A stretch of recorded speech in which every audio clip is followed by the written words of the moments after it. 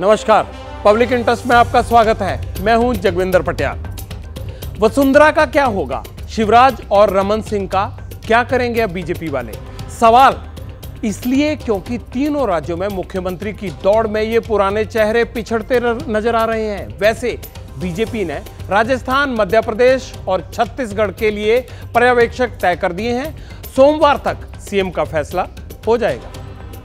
उधर नेताओं का मोर्चा है तो इधर पेंशन धारकों का। केंद्र सरकार के खिलाफ ईपीएस पेंशन धारकों ने जंतर मंतर पर अनशन शुरू कर दिया है। हज़ारों बुज़ुर्गों की मांग है कि एक हज़ार रुपए की पेंशन में घर नहीं चलता, उसे साढ़े सात हज़ार रुपए किया जाए। इतने में गुजारा मुश्किल है। उत्तराखंड और उत्तर प्रदेश के जानलेवा बाघों ने कितनों को मार डाला और कैसे संगीनों के साय में बच्चे स्कूल जा रहे हैं?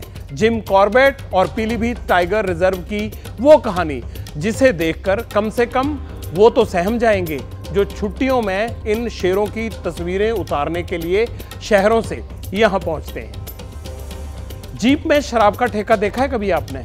आज आपको हम दिखाएँगे कि बिहार के गोपालगंज में पुलिस ने चलता फिरता अवैध शराब का वो ठेका पकड़ा है, जिसकी कल्पना करना भी मुश्किल है।